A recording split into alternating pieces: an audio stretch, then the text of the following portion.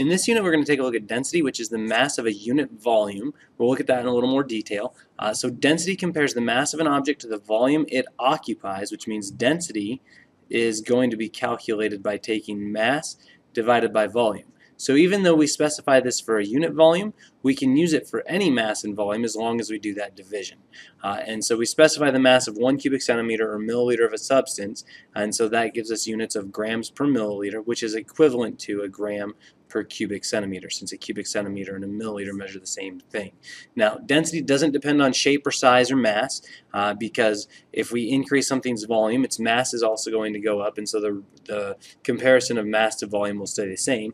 And because density does not depend on the size or the shape or the mass, it is a characteristic property. Different substances can have different densities, but any substance uh, will always have the same density. So it doesn't matter if I have a brick of gold or a coin of gold or a gold wire, all those things would have the same density even though they all have different shapes and masses and sizes. So density is characteristic.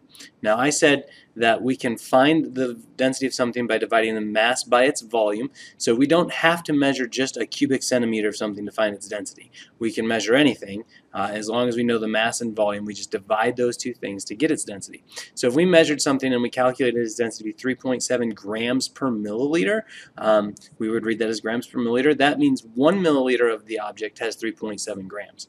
But that doesn't mean I can't have a block that's bigger than one milliliter. So if I had this block and it's 2 centimeters by 2 centimeters by 2 centimeters, well that's clearly 2 times 2 times 2 for volume 8 cubic centimeters. And since that's more than 1 cubic centimeter, it's got a mass more than 3.7. In fact, since it's 8 times the volume, it will also have 8 times the mass. So if I wanted to, I could take the volume times the density and actually find out the mass. I would take 8 times 3.7 and 6, 29.6 grams, and I would know its mass. And it would work also if something was smaller than a cubic centimeter. So that's why we're able to give this as per unit volume because we do that division. So it doesn't matter what the absolute mass is or the absolute volume is as long as we always find it by taking mass divided by volume.